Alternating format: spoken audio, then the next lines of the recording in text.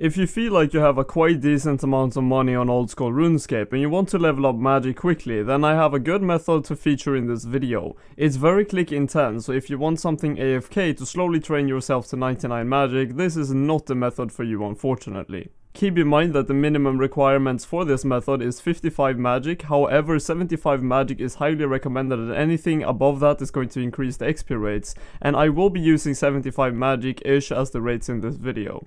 Alright, so first off you need to grab your magic setup. Personally, I'm not the highest leveled guy out there and not the richest one either, so I will be using Ahrim's with a glory and some mystic items along with my Guthix cloak.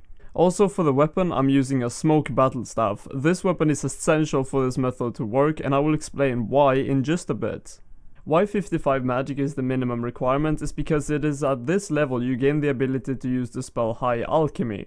This grants you 65 magic experience on use and consumes an item into money. This requires 1 nature rune and 5 fire runes per cast. What item you want to alch is entirely up to you, but so far I'm happy with alching yew longbows for example. Why 75 magic is highly suggested is because that is the level where you gain access to the Fire Wave spell, which grants you 42.5 experience per cast, plus an amount of experience depending on how much damage you dealt with the spell.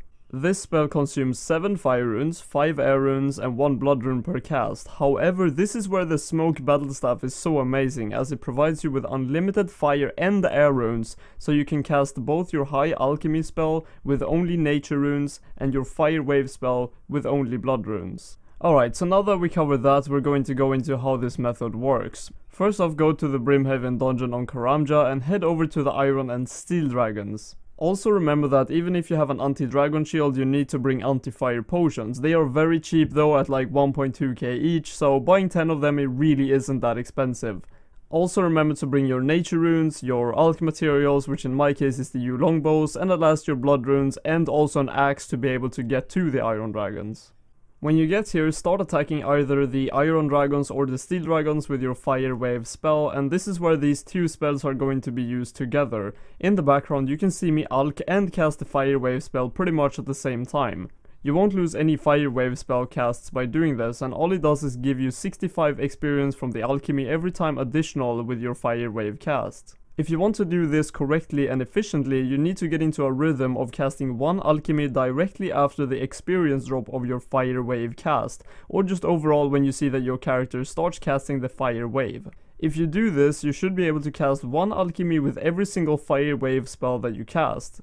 This will in the end give you an absolute minimum of 107.5 experience per cast, and obviously more if you actually do damage to the dragon. I reset the OSBuddy statistics and I did a quick sample here of 15 minutes which is actually quite a valid amount of time as you literally do the same thing all the time with no spikes in experience rates really so this should be quite accurate at least with 76 magic and my gear setup. At my levels and gear I managed to get around 125k magic experience an hour which is absolutely amazing and I do not doubt that if you had max magic setup along with 90 plus magic you would be able to get possibly 140k an hour but I don't have any evidence of that so I'm deeming this about 120k an hour which is definitely a good amount of experience. Anyways, that is going to be all for this video. I hope you found it helpful and if you did, please leave a like and good luck with your magic training.